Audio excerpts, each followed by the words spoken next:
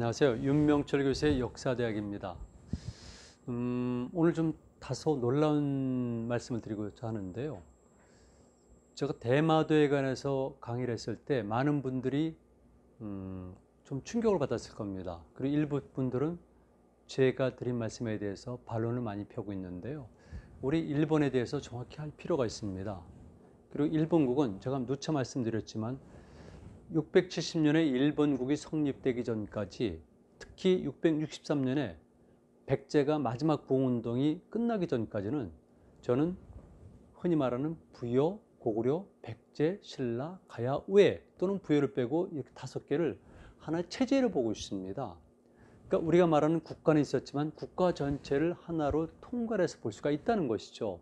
그런 면에서 볼 때 저는 다른 사람들보다 훨씬 더 흔히 말하는 민족주의적, 성, 민족주의적 성향이 강한 겁니다. 그러나 670년 이후에 이미 망백제 유민들이 대거 일본 열도로 탈출을 했고요. 그리고 그 지역에 더 건너갔던 사람들과 힘을 합쳐가지고 일본은 새로운 체제로 거듭납니다. 그래서 아시는 것처럼 670년에 일본이란 국고가 탄생하고요. 그리고 당연한 거겠지만 712년에는 고사기라는 책이 쓰여지고 720년에는 일본 서기라기 라는 책이 쓰여지고 그 이후에 성시록까지 만들어집니다. 그러니까 이때부터 일본과 당시 신라는 별개 국가, 적대 국가, 그리고 별개 민족으로 점차 벌어지기 시작하는 거죠. 이런 관계를 우리가 정확히 파악해야 됩니다. 당시 음, 백신라와 통일신라라고 부르죠. 통일신라와 당시 신흥 일본 국가의 관계는 어땠을까? 말로 할 수가 없는 거죠. 제가 지난 시간에 한번 말씀드린 적이 있는데 망백제 유민들은 664년부터 테마도, 이끼섬, 큐슈 북부와 서부 그리고 세또 내를 거쳐서 나라 지역까지 곳곳에 방어 체제를 구축합니다. 방어 체제를 구축한 사람들은 당연히 백제 유민들이죠. 그리고 세월이 지난 다음에도 적대 관계를 우리가 청소하는지 못하는데 여러분들이 보시는 것처럼 이런 상황입니다. 731년에는 일본의 병선 300척이 동원해서 신라를 공격했다고 합니다. 삼국사기의 내용인데요. 이것을 실제로 받아들이는 경우도 있고 실제로 받아들이지 않는 경우도 있습니다. 그리고 일본 기록을 보면은요 이렇게 나옵니다. 735년이죠. 덴뼈 시대인데 이미 735년은 신라국이 이름을 바꿔서 왕성국이라고 했다라는 얘기도 나오고요. 736년에 가니까 외교 사절이 끊어졌고 759년에 가게 되면 이런 일이 벌어지게 되는데요. 여러분 736년과 함께 752년을 주목할 필요가 있습니다. 752년은 이제는 일본국이 완전하게 우리 한민족 질서와는 끝내면서 그리고 중국적 질서로 편입이 되기도 하고 일본이 이제는 완벽한 하나의 국가로 탄생하는 사건이 벌어졌는데 그 사건이 바로 여러분들이 일본에 가시게 되면 반드시 구경하게 되는 나라에 있는 동대사의 대불 건립이 됩니다. 동대사의 대불전이 완성이 되고 대불이 완성이 되고 이것이 752년의 일인데요. 이 사건을 통해서 일본은 이제 국제사회에서 자기들의 독립적인 그리고 문화국가로서의 선언을 하게 되는 겁니다. 이 과정 속에서 당연히 예전에 망백제 유민들, 망고구려 유민들, 일부 신라 사람들도 참여해서 이 거대한 공사가 이루어진 거거든요. 지금 일본은 그 당시 때보다 조금 축소된 동대사의 대불전이 세계에서 가장 큰 단일 목조 건물이라고 자랑을 하고 있습니다. 그리고 752년에 이 대불의 조용히 개안식, 개안 눈을 여는 거죠. 개안식을 할때 사신들이 왔는데 바레인들도 사신으로 왔고요. 거기서 연주된 음악을 고려악이라고 불렀습니다. 그리고 신라도 사신을 파견했는데 김태렴이라는 가왕자, 거짓 왕자죠. 이 사람이 일곱 척에 비해 700명의 사신단들을 거느리고 옵니다. 그 중에 350명, 반 정도는 큐슈 북부에 남아서 무역 활동을 하고 나머지 반은 바로 그 당시 수도인 평성경까지 옵니다. 지금 나라죠. 이런 상태가 돼서 잠시 우호적인 관계가 성립이 되는데요. 759년에 가게 되면 이런 일이 발생합니다. 신라를 정벌하기 위해서 대제부, 즉 큐슈 북부에 있는 거죠. 망 백제 유민들이 주도적으로 건설한 것이죠. 행군식을 하게 됩니다. 그리고 다시 배 500척을 만들게 하고 3년 내내 마치도록 주문합니다. 그 다음에 761년에 가게 되니까 각각 지역의 절도사를 임명하고 선박 394척, 병사 4만 700명, 그리고 자재 202명, 수보 1만 7천 명을 동원해서 배치 계획을 발표합니다. 그러니까 대규모 해양전을 계획하고 조선공사를 추진하고 군대 편제를 변화시키는 거죠. 이것이 당시에 바로 신라와 일본 간의 관계입니다. 이렇게 그들은 적대적인 관계를 가지고 있었거든요. 이런 관계 속에서 당연히 신라와 적대적인 발해는 일본 국가 동맹 관계, 우호 관계를 맺을 수밖에 없었던 것이죠. 그러니까 신라에서는 방어 체제를 구축합니다. 그 이전에 문무왕 이미 수중농을 만들었죠. 왜?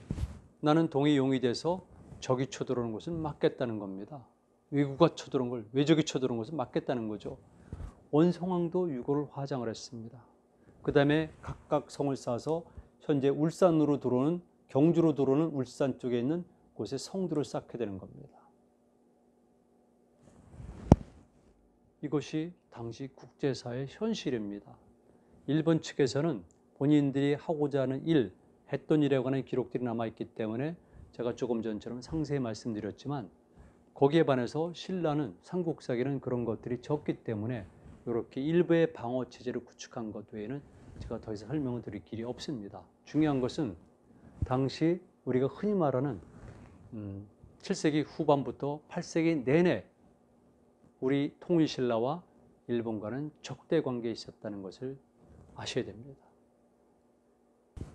우리는 일본의 실체에 대해서 잘 모르고 있는데요. 특히 일본의 고대사와 고대 역사를 모르고 있습니다. 일본의 현재 아베 신조에 이르기까지 일본은 처음부터 끝까지 우리랑 깊은 연관을 맺고 있습니다. 그러니까 이를테면 일본에서 우리가 합병이 되거나 아니면 지금 아베 신조와 버리는 것처럼 한일 갈등이 벌어질 때 반드시 고대 역사와 그리고 한일의 메커니즘을 이해하지 않으면 안 된다는 것이죠. 제가 지난번에 강의에서 또 말씀을 드렸습니다. 일본은 670년에 비로소 일본 국이 됐고요. 저는 그 이전까지는 이렇게 역사를 보고 있습니다. 중국 지역과 북방 지역과는 다른 동방 지역을 설정을 했고요. 그리고 여기에는 부여까지 포함이 됩니다만은 우리가 흔히 말하는 7세기를 놓고 볼 때는 첫 번째 고구려, 백제, 신라, 가야 그리고 아직 일본이란 국호를 갖지 못한 왜 이렇게 다섯 개의 국가를 저는 하나의 체제로 보고 있는 겁니다. 중국도 마찬가지고요. 북방 민족들도 마찬가지고 다 마찬가지입니다. 그래서 하나의 체제 속에서 그 체제에 관한 이름은 우리 학자들이 부르기 나름입니다. 그 체제 속에서 왜는 우리적 질서 속에 포함이 되어 있다고 보는 겁니다. 그런 면에서 볼 때 제가 대마도 특강에서 보여준 것처럼 일부 사람들이 오해하는 것처럼 그렇게 제가 흔히 말하는 식민주의자라든가 그거는 거리가 먼 거죠. 오히려 가장 적극적으로 해석을 하고 있는 겁니다. 그러나 다만 663년에 백강전투에서 백의 연합군이 나당 연합군에게 대패하고 백제유민들이 대거 일본 열도로 탈출하면서부터 역사는 달라지게 된 거죠. 664년부터 백제 유민들은 대마도, 이끼섬, 북부 큐슈, 서부 큐슈 그리고 동쪽을 거쳐서 세동네라는 것을 있습니다. 통해 가지고 지금의 나라 지역, 즉 오사카를 통과한 이 지역까지 성을 쌓았는데요. 이 성을 쌓은 사람들은 백제인들입니다. 당연히 일본 서기에 구체적인 이름과 직위까지 나와 있거든요. 그리고 그 외에도 숱한 방어 체제들이 축성이 된 겁니다. 이게 우리가 알고 있는 고대 한일 관계사입니다. 백제 유민들이 마지막에 건너가서 그들에 의해서 완벽하게 새로 탄생한 체제가 일본이라는 겁니다. 그렇다면 당시 일본국은 신라에 대해서 얼마나 적대감을 가지고 있겠습니까? 또 신라와 발해는 얼마나 적대적이겠습니까? 그러니까 당연한 결과겠지만 발해와 일본 국가는 우호관계 내지는 동맹관계가 되는 거죠. 그래서 초기부터 일본 국가 또는 신라와 일본 국가는 갈등이 있었고 충돌이 생기게 되는 겁니다. 그런데 8세기 강에 가게 되면 다시 새로운 양상으로 변하게 되는데요. 기록을 보면 이렇습니다. 일본에서는 이제 소입니다. 신라 정토 계획이 수립이 되거든요. 그래서 삼국사기에 보게 되면 731년에 일본 병속 300총이 동원돼서 신라를 공격한다는 기록이 나옵니다. 이거 실제 있었던 일을 보는 견해도 있고 아니라고 보는 견해도 있습니다. 그런데 일본 측 기록을 보게 되면 735년에 신라국이 본래 이름을 왕성국이라고 바꿨다는 얘기도 나오고요. 736년부터는 외교 사절이 끊어지게 돼요. 잠시 우호관계에 돌입하다가 결국 끊어지게 되고요. 그래서 759년에 가게 되면 이런 무시무시한 사건들이 일어나게 되는데 그 전에 제가 꼭 언급해야 될 것이 있습니다. 여러분 일본에 가시게 되면은 특히 관서 지방에 가면 꼭 가게 되는 관광지가 나라에 있는 동대사거든요. 동대사에 가면 대불전이라는 사찰이 있습니다. 폭이 50m에 달하는 굉장히 큰 단일 목조 건물인데 일본인들은 세계에서 가장 큰 단일 목조 건물이라고 자랑을 합니다. 제가 82년도 겨울에 배낭을 지고 거기 가서 그 건물을 봤을 때 얼마나 놀랐는지 모릅니다. 이렇게 큰 건물이. 그런데 창건 당시보단 정, 적은 겁니다. 더 놀란 것이 뭔지 아십니까? 이 동대사 그리고 대불전 그리고 대불전 안에 있는 나라 대부를 완성시키는데 결정적 역할을 하는 사람들은 바로 우리와 깊은 연관을 맺고 있다는 겁니다. 백제 유민들, 고구려 유민들, 그리고 신라계 사람들이 당대가 아니라 그 2세들이겠죠. 이런 사람들이 힘을 합쳐서 부지를 마련하고 자금을 마련하고 이를테면 동을 진상을 하고 여러 가지 일을 통해 가지고 이 어마어마한 역사를 완성시키게 된 겁니다. 일본으로서는 당연히 이제는 새로운 국가가 성립됐다는 것을 당시 국제 질서에 알릴 뿐만 아니라 신라와 발해에도 선언해야 되겠고요. 그 다음에 새롭게 만들어진 신흥 국가의 내부의 신국민들에게도 당시 왕실에 대한 권위와 함께 국가가 완성됐다는 것을 선언할 필요가 있었다는 겁니다. 일본은 아직 안정이 안 됐거든요. 그래서 752년에 마지막에 나라 대불이 조용됐을 때 국제적으로 많은 사신들이 왔습니다. 바레인들은 당연히 왔겠죠. 그리고 그 당시 때 고려학이 연주가 됐다는데 물론 그 고려학은 그 이전부터 건너갔던 고구려학일 수도 있지만 바레인들의 했다면은 바레학일 수도 있다는 겁니다. 그리고 신라 적대 국가였던 신라에서는 오랜만에 화해적 제스처를 취하면서 사신을 파견합니다. 그때 사신단들은 일곱 척의 배에 700명이 달하는 인원들이 온 겁니다. 평균 잡아서 한 척당 100명이 탔는데요. 음, 정큰 그러니까 큰 배일 경우에는 100명이 훨씬 넘겠죠. 이런 배들을 타고 700명이 일단 큐슈에 도착한 다음에 그 반인 350명 정도는 큐슈 북부에 머무르면서 백제인들이 축성한 다자유 방어 체제죠. 서경입니다. 서쪽 수도. 여기에서 무역 활동을 벌이고 나머지 350명은 다시 당시 일본국의 수도였던 나라 평성경으로 오게 되는 겁니다. 여기서 흔히 말하는 무역도 하고 중요한 정치 행위를 하게 되는 겁니다. 이로 인해서 어, 당시 일, 통일신라와 일본 국가에는 우호 관계가 성립된 것으로 보입니다. 그런데 난데없이 759년에 가니까 대제부에서 행군식을 합니다. 이유는 신라 정보를 하겠다는 것이죠. 그리고 그해 9월 달에는 선박 500척을 만들게 하고 이것을 3년 안에 맞춰다, 맞춰라. 이렇게 지시를 하는 겁니다. 그리고 761년에 가게 되면은 이렇게 방어 체제와 관해서 특별한 관직과 함께 체제를 구축하고요.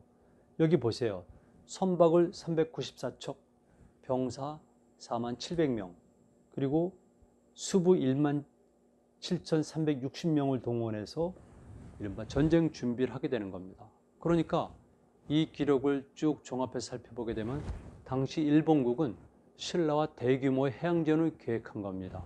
그리고 엄격히 말씀드리면 이렇게 어마어마한 조선공사를 추진하고 군대 편제를 변화시키면서 본격적인 전쟁 준비를 했는데 당시 이런 행위에 관해서 실제 신라를 공격할 의사가 없다고 보면서 일본국 내부의 문제 때문에 이런 것을 추진했다고 보는 견해도 있지만 당시 국제적 상황으로 놓고 볼 때 그리고 신라와 백, 일본 국간의 관계를 볼 때 실제적으로 그런 의도가 있었을 가능성이 큽니다. 그럼 여기에 관해서 신라는 어떤 태도를 취했을까요? 외교적으로 그리고 한편에선 음, 군사적 측면에서 방어를 하는데요.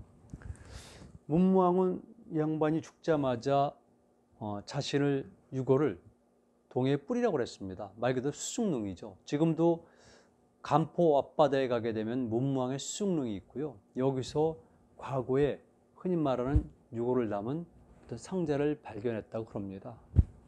문무왕이 이렇게 된 이유는 동해 용이 돼서 신라를 지키겠다는 발언 때문에 그런 거죠. 그 이후에 원성왕도 유고를 화장해서 뿌렸고요. 그 다음에 신라는 이렇게 여러 곳에서 예를 들게 되면은 울산을 통해서 경주로 올라가는 길목이라든가 기타 지역에 말 그대로 방어 체제를 구축하는 겁니다.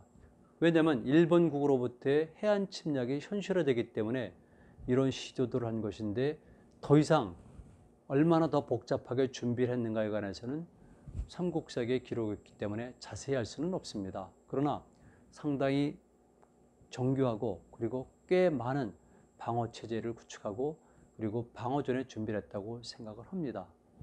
자, 이렇게 해서 제가 당시 모습을 살펴봤는데요.